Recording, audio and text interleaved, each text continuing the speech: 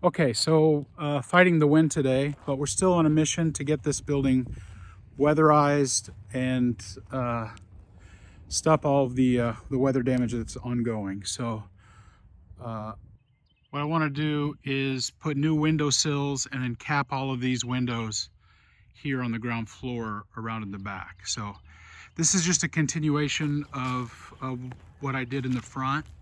I'm going to leave that last window kind of exposed so that uh, sunlight can come in. So uh, up front, I did the same thing and uh, I haven't had any problem with rain getting in. Um, I'm going to keep an eye on that over this uh, next few months. And if I have any problems at all, I'm going to go ahead and finish capping them off all the way up. But uh, there's a kind of a significant overhang and it's kind of rare that, that the wind blows the rain directly horizontally in over that lip. So what I'm doing is capping the windows and then at some later point in time, all I have to do is just unscrew these uh, pieces of sheeting and uh, I'll have access to the windows again. I can uh, replace missing glass, I can sandblast the frames, I can paint them. I can do all that stuff in the future. But uh, for the moment, I'm just, like I said, trying to get the weather uh, held back. So and there are several along here. Some of them are in better condition than others. What I noticed was, for example, uh, this one and this one, they're not too bad. Uh, and the difference between this one and say this one or this one is that uh, the ones that are still good had more mortar. They've just been mortared in. Uh, they had more mortar in the back, which gave them a slight slant, so the water would hit and run off. And the ones that were perfectly flat would, I guess, pool, pooled water would just kind of build up here. And uh, eventually they just got rotten. So uh, I'm going to learn from from those that actually survived and try to do the same thing with these windows here. It looks like three window sills can stay. That one, that one, and that one and then this is just fallen out and then all the rest of those have to come out and I'm gonna build uh, new ones. Uh, and then once these uh, old sills are out, oh my gosh, yikes. Uh, once these old sills are out, I'm gonna have to come here with a chisel and a hammer and knock out this mortar so that I can get a fresh start. So uh, another thing that uh, I forgot to mention is that I'm focusing on the ground floor and sealing up all the windows first, all the way around the building because uh, still having a little bit of challenge with kids trying to get into the place. It's starting to look better, but it's still got a long way to go and kids still are under the impression that it's an abandoned building. So they're doing a lot of, you know, Scooby-Dooby-Doo, where are you? Da, da, da, da, da, da. I don't know the rest of the words, but yeah, they're still uh, coming in. They're doing their exploring thing, causing me a bunch of headaches and uh, I'm worried about it because there's you know a lot of liability associated with that. So uh, fortunately, I'm installing some lights outside. The windows are going to be sealed all the way around the ground floor and there'll be no way in the building without them being serious criminals and doing serious damage in order to get in. So funny story, the other day, it was broad daylight. It was about like two o'clock in the afternoon. And I was up here uh, by the, the ceiling there on a ladder painting uh, that wall big bang from up toward the front of the building. And uh, I was up on a ladder, so I wasn't going to jump down. I just thought, oh, somebody came in the front door and they'll be coming back. They'll be wandering around looking for me. So I'll just, you know, I'll yell out for them when I see them. And then nothing. And I thought, I wonder what that was about 10 minutes later. And then, because basically right on the other side of this window is a street. Uh, and I could hear some kids talking just on the other side of the uh, of this window here. And here I am hmm, hmm, hmm, painting, and this conversation goes by, and one of them says, "No, you can't get in that way. Let's let's go around the end of the building and check out what's over there."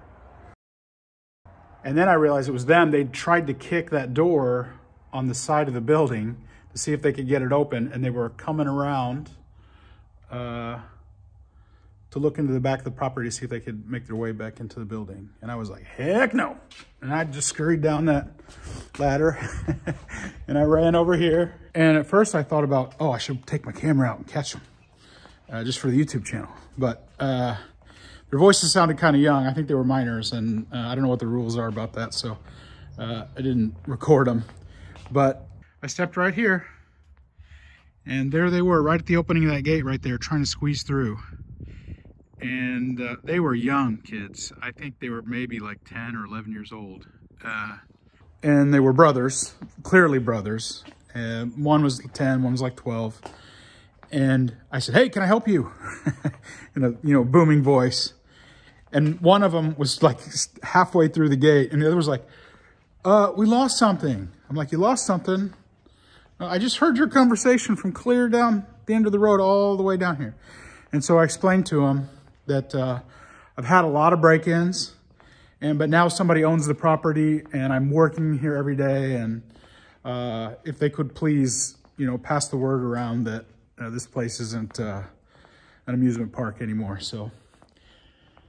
Yeah, and uh, they tried to deny it at first, and then they were like, yeah, you got us, you got us. So uh, they didn't look like the kind that were going to cause any real trouble. Uh, but uh, as you saw from the video clip earlier, there's some older kids that they do damage. So uh, the good news is I've almost got the entire building all the way around on the ground floor uh, sealed up. And so that's the reason for today's video. I just want to kind of finish up over here on this side and uh, the building will be a lot more secure.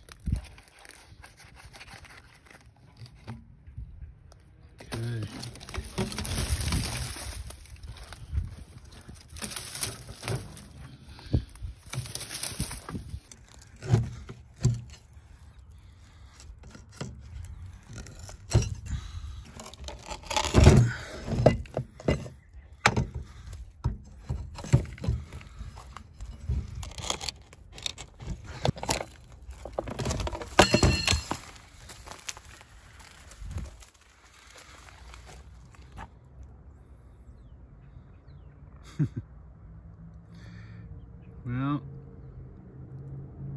are they going to fly away? What are they going to do? Okay, so I'm trying to, uh, as I cap these windows, pull out some frosted ones that I can use up front. I got some great advice about uh, frosted spray that I can put on clear glass. Uh, and a lot of people mentioned that the old putty has bad stuff in it. So uh, I got my mask and uh, I'm gonna try to save as many of these little squares as I can. I'll tell you what, I've never been so tempted to break a dang window in my life. Ugh. So they got these, you know, this putty that is really hard to get out. And then these wire staples in there that, uh, when you put the pliers on them, the, the glass chips and breaks. And uh, I just spent about 30 minutes and it is not working. So what I'm gonna do is punch out all these metal and wood squares and uh, try to focus on those as the places to attach the, the sheeting on the outside. Uh, and then as a secondary option, the windows that are already cracked and some point down the road when I hire somebody, that's gonna be their job because uh, I don't care much for it. Okay, so got a nasty surprise today. I have this uh, five gallon uh, bucket of barn red that I'm using to uh, paint and seal in the uh, material that I'm using to cap the windows. And uh, I bought a five gallon bucket because it was cheaper in the long run. But I, uh, I closed it up really tight last time. And this time, when I opened it, it's oatmeal and so I'm not going to be able to use it. So uh, I thought to myself that, man, as much painting as you do, you never do five gallons at a time. And the savings is not that much. So this time when I went back, uh, I just bought a single gallon. So it's gonna be more than enough to get me by for a while. And uh, yeah, so I need to go ahead and paint five additional pieces. I have nine or 10 that are uh, painted from last time. And I need these five pieces just to uh, finish off the material and get uh, all 11 windows uh, capped and sealed. So.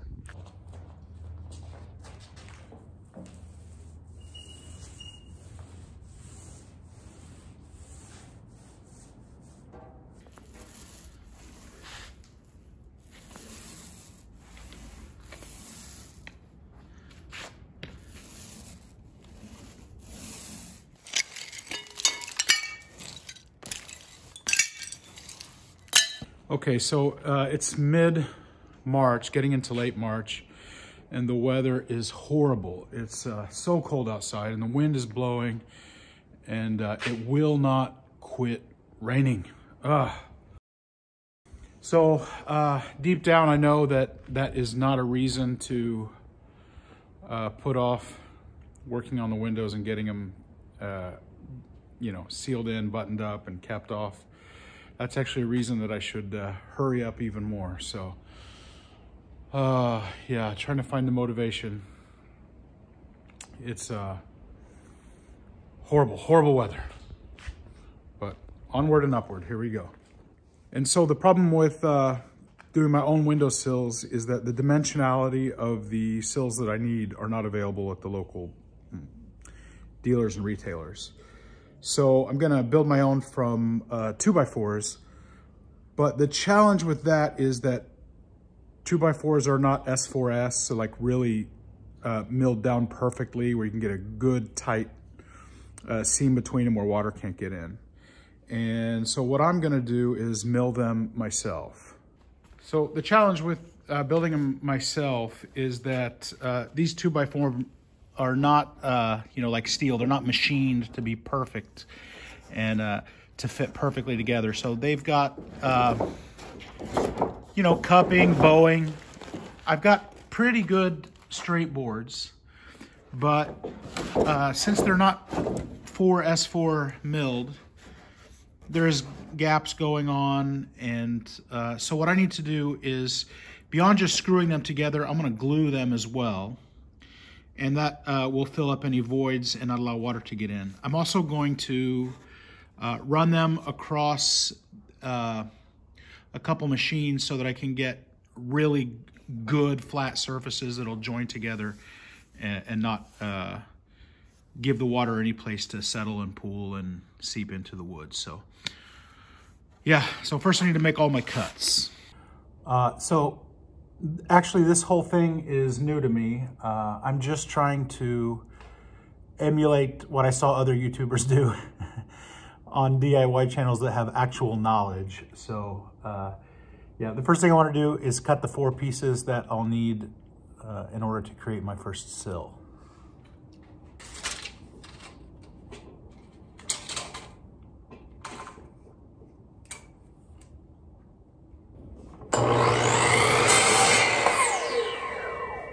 Okay, so I need a really flat surface uh, on one side of the front and back board of the sill. And then the two interior boards have to have perfect sides uh, on both both sides, right and left. So uh, the first step is to get the initial flat surface. So we're gonna run it across this planer here.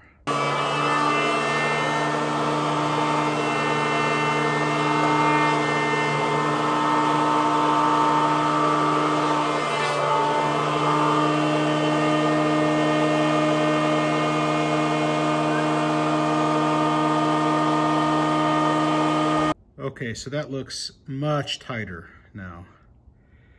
And uh, I may run this through the thickness planer as well. Uh, at least I'll have to for the two inside boards of the sill so that uh, all, all sides join together really well.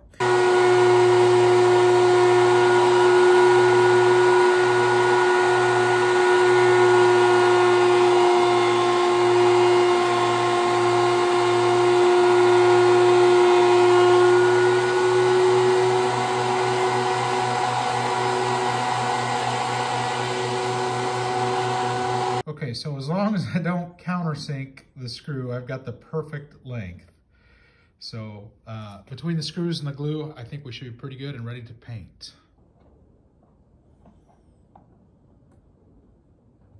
Okay, so we'll let those dry tonight. And uh, tomorrow we'll paint them. Okay, we got all the window sills in and time to put the, uh, the sheeting up. So I'm in a little bit of a rush today, so I'm filming a little bit less.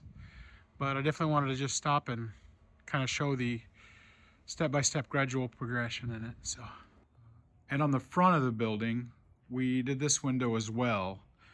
Uh, previously, there was sheet metal on the inside of the window, so showing the frame with kind of a metal backing.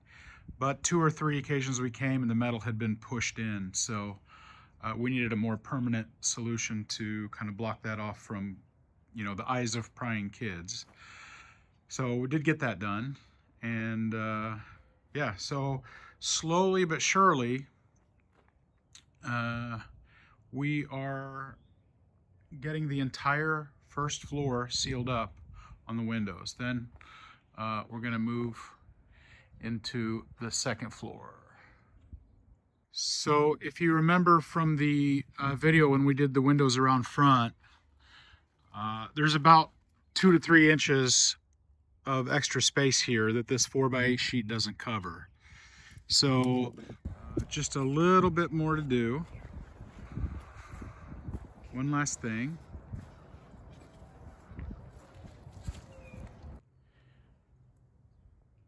And uh, yeah, there's also this little uh, problem of this kind of ugly white caulking around the uh, the old windowsills. So I'll have to get that uh, cleaned up.